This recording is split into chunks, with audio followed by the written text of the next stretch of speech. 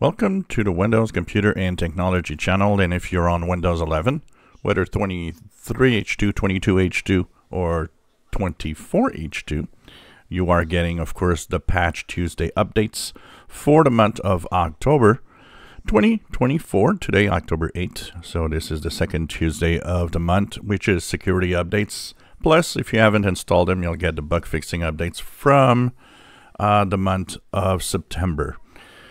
In uh, different versions of Windows, you have different um, KB or different packages. Um, if you're on Windows 11 22H2 and 23H2, uh, what you are going to get for uh, the uh, update is KB 504 4285 and this is going to, of course, bring your build number to 22621 or 631.4317.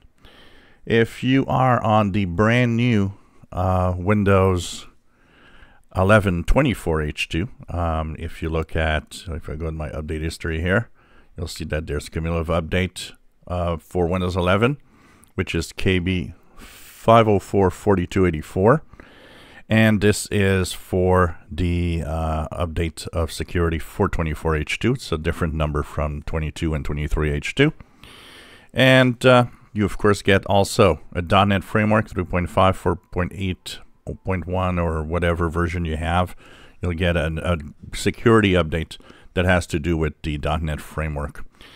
And uh, if you do the WinVer command on 24H2, you will have in the numbering the build 26100.2033.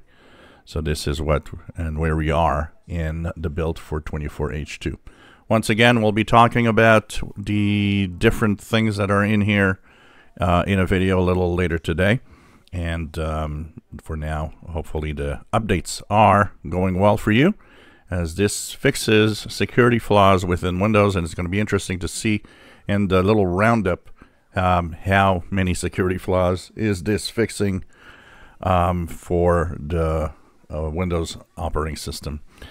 Um, install phase was pretty quick on 24H2 and also on my 22H2 Windows 10 machine, so uh, things seem to be quite fast uh, in general.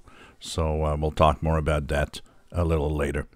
If you enjoy my videos, please subscribe, give us thumbs up. Thank you for watching.